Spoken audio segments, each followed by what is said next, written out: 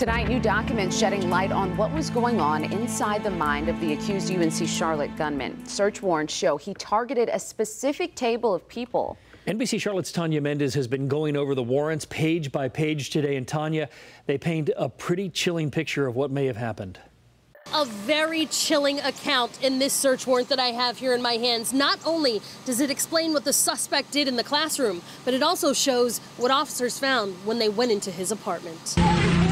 In the hours after the chaos and life lost at UNCC, we saw officers with vests on, guns drawn, canines sniffing around the suspected mass shooter's apartment. And now we're learning more about what they found when they went inside. This is the search warrant for the alleged gunman's apartment. It outlines the chilling preparation he appeared to take before opening fire on campus.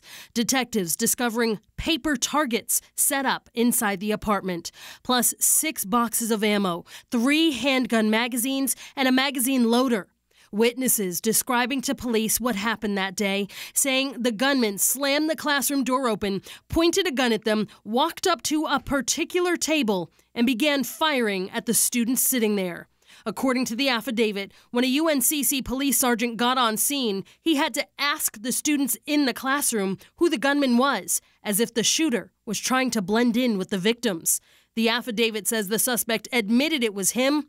When police arrested him, they found a Glock and a black leather bag that had multiple gun magazines.